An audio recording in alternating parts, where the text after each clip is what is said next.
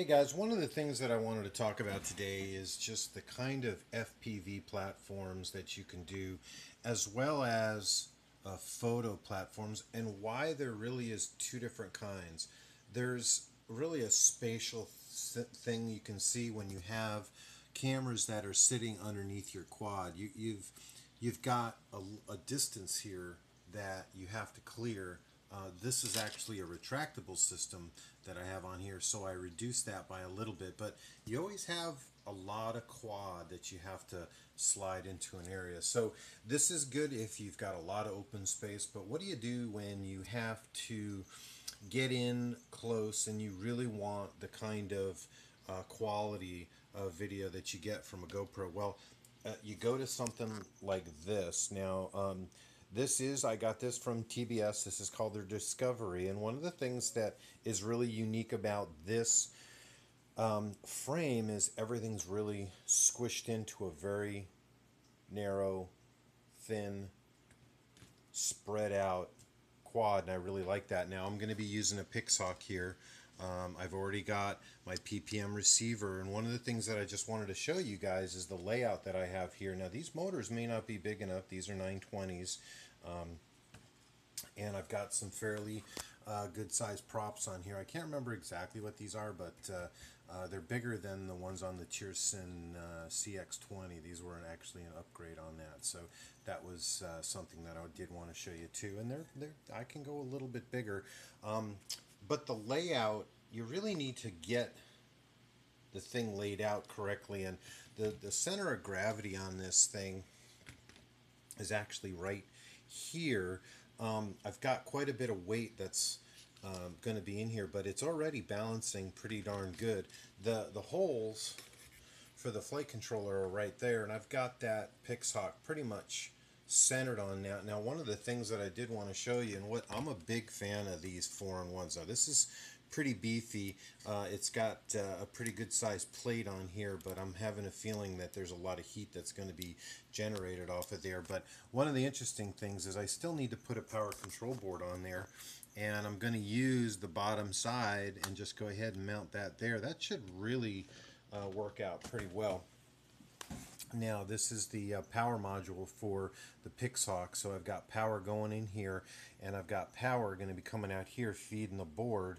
Uh, and I also need to get these over there. That's the only issue is I wish these were a little longer. I don't want to put too much pressure on these and I think um, they might actually be able to go around this way, but I'm going to have to figure out how to do that. But the, the, the thing that I also wanted to show you is just, you know, trying to balance this thing as much as possible uh, right off of the bat and have some uh, forward thinking. These pow these Matek power control boards, I really love them. They have um, all kinds of 5 volt and 12 volt and um, I really, really like them. They're very reliable. They're a little tough, a little tiny, but they work real good. Now, the interesting thing about this quad and why I really like it is because you can really fit everything into a pretty narrow area. And as I started to put this together,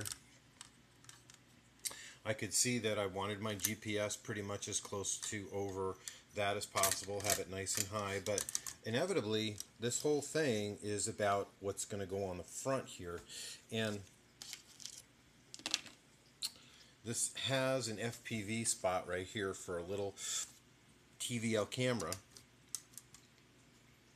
And that's going to be the main video that you're going to look through. Now all the all the electronics for that are going to sit up here. Um, also the uh, receiver antennas coming through this little port up this way.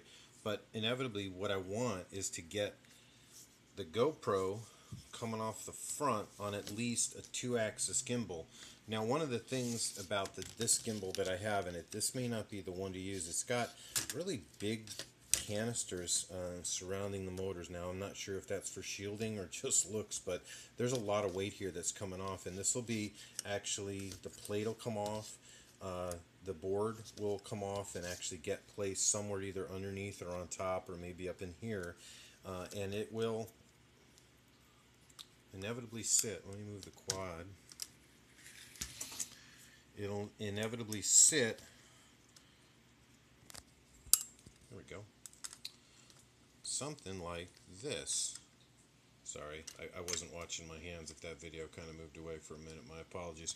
But basically, you have that out in front and it clears it, but this this plate will have to come off. This will have to be uh, reattached somehow, and it can't be upside down, so it's got to be this way. So I've got um, to do some modifying, and I think I've got some two millimeter carbon fiber plate, and I think that'll probably be what I'll be using to get that remounted. But this inevitably may not be it, but I wanted to kind of show you the reason why these are so cool and why these work so good is you can really slide them into tree canopies and all that kind of thing. And if you don't need the GPS, always get one that can come down like that and that makes it even slicker. And this actually locks down into place even farther down. So that's just the first video.